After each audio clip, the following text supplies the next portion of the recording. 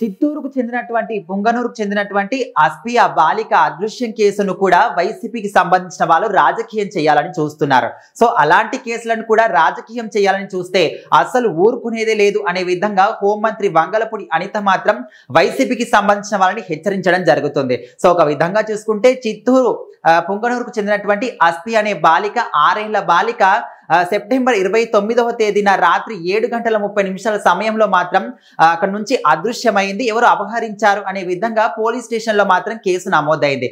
ఎప్పుడైతే కేసు నమోదు చేశారో అప్పటి నుంచి కూడా పోలీసులు కావచ్చు జిల్లాకు సంబంధించిన ఎస్పీలు కావచ్చు అందరూ కూడా ఒక పన్నెండు బృందాలుగా ఏర్పడి అప్పటి నుంచి గాలింపు చర్యలు చేపట్టారు. సో ఎట్టకేలకు అక్టోబర్ రెండవ తేదీన పుంగనూరులోని ఒక వాటర్ స్టోరేజ్ ట్యాంక్లో మాత్రం శివమై తేలింది ఆ బాలిక.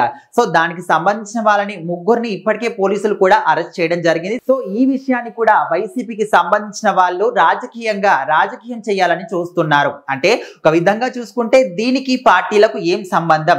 అంటే చాలా మంది కూడా వైసీపీకి సంబంధించిన వాళ్ళు ఏ విధంగా అంటున్నారంటే ఇది ఖచ్చితంగా ప్రభుత్వ వైఫల్యమే. ప్రభుత్వమే కావాలని చేసింది. ప్రభుత్వంలో ఉన్న వాళ్ళే చేయించారు అనే విధంగా మాట్లాడుతున్నారు. ఇంకొక విధంగా చూసుకుంటే చంద్రబాబు నాయుడు సీఎం చంద్రబాబు నాయుడు సొంత జిల్లా చిత్తూరులోని ఈ విధంగా జరిగిందంటే కావాలని ఇలాంటివి చేపిస్తున్నాడు అనే విధంగా కూడా వైసీపీకి సంబంధించిన వాళ్ళు అనడం జరుగుతుంది. అంటే ఒక విధంగా చూసుకుంటే ఇప్పుడు ఈ విధంగా జరుగుతున్న వాటి అన్నిటి మీద కూడా ఏ కేసు జరిగినా ఏ సంఘటన జరిగినా ఎలాంటి అవాంఛనీయ ఘటనలు జరిగినా కూడా ఖచ్చితంగా ప్రభుత్వ వైఫల్యమే. కూటమి వాళ్ళే చేయించారనే విధంగా ఇప్పుడు వైసీపీ వాళ్ళు మాట్లాడుతున్నారు. ఓకే కానీ వైసీపీ హయాంలో వైసీపీ ప్రభుత్వ హయాంలో ఇలాంటివి ఎన్నో సంఘటనలు జరిగాయి. సో వాటికి సంబంధించి ఎవరు కూడా ఎందుకు మాట్లాడలేదు?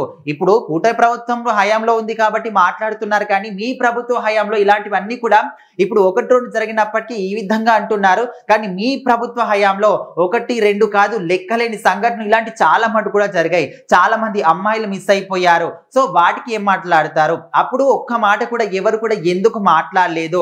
సో ఖచ్చితంగా ఇప్పుడు మీలాంటి వాళ్ళు ఈ విధంగా మాట్లాడడం అసలు కరెక్ట్ కాదు. అసలు మాట్లాడే అర్హత కూడా మీకు లేదు. సో ఈ అమ్మాయికి సంబంధించి కూడా అక్కడ పోస్ట్ మార్టం రిపోర్ట్లో కూడా అంటే చాలా మంది కూడా ఇప్పుడు వైసీపీ సంబంధించిన వాళ్ళు ఏ విధంగా అంటున్నారంటే ఆరేళ్ళ బాలిక మీద అత్యాచారం జరిగింది అనే విధంగా కూడా మాట్లాడుతున్నారు. సో మరి అక్కడ డాక్టర్లు ఇచ్చిన పోస్ట్ మార్టం రిపోర్ట్లో మాత్రం తన ఒంటి మీద చిన్న గాయం కూడా లేదు. అదే విధంగా అత్యాచారం జరిగినట్టు కూడా ఎలాంటి ఆనవాలు కూడా లేవు అనే విధంగా క్లియర్గా రిపోర్ట్ రిపోర్ట్లో మాత్రం కనిపిస్తుంది అనే విధంగా తను మాత్రం ఇక్కడ చూపించడం జరుగుతుంది. సో అలాంటిది ఎలాంటి ప్రూఫ్స్ లేకుండా నిరాధారంగా ఖచ్చితంగా ఇది అత్యాచారం అని ఎందుకు మాట్లాడతారు? సో ఖచ్చితంగా ఎవరు దుండగులు మాత్రం ఆ అమ్మాయిని అపహరించడం జరిగింది. తర్వాత ఆ అమ్మాయి మాత్రం అక్టోబర్ రెండవ తేదీన వాటర్ ట్యాంక్లో శవమై తేలింది. సో దీనికి సంబంధించి ఇప్పటికే ముగ్గురిని మాత్రం పోలీసులు అరెస్ట్ చేశారు. ఎప్పుడైతే ఈ కేసు నమోదైందో అప్పటి నుంచి కూడా పోలీసులు అందరూ పన్నెండు బృందాలుగా ప్రత్యేకమైన పన్నెండు బృందాలుగా ఏర్పడి ఈ కేసును ఛేదించేందుకైతే ఆ ఇళ్ళవేళ కష్టపడుతూనే ఉన్నారు. ఎట్టవేళకైతే తన ఆచూకు నుంచి కనుక్కున్నారు కానీ ఇలాంటి విషయాన్ని కూడా ఇలాంటి ఒక అవాంఛనీయ ఘటనను కూడా తీసుకొని వీళ్ళు ప్రభుత్వం మీద బోధ చల్లడానికి ప్రయత్నం చేస్తున్నారు. దీన్ని కూడా రాజకీయాల పరంగా తీసుకొస్తున్నారు. రాజకీయం చేయాలని ట్రై చేస్తున్నారు. సో ఇలాంటి వాటికి పాల్పడితే మాత్రం అసలు ఊరుకునేదేదు కఠినమైన చర్యలు తీసుకుంటామనే విధంగా అయితే హోంమంత్రి వంగలపూడి అనిత వైసీపీకి సంబంధించిన వాళ్ళ మీద హెచ్చరించడం జరుగుతుంది. సో మరి ఏదేమైనప్పటికీ ఇప్పుడు వైసీపీకి సంబంధించిన వాళ్ళు ఏ చిన్న విషయం దొరికినా కూడా కూటమి ప్రభుత్వం మీద బురద చల్లడానికి కాచుకొని కూర్చుంటున్నారని చెప్పుకోవచ్చు. అంటే అది చిన్న విషయం కావచ్చు పెద్ద విషయం కావచ్చు.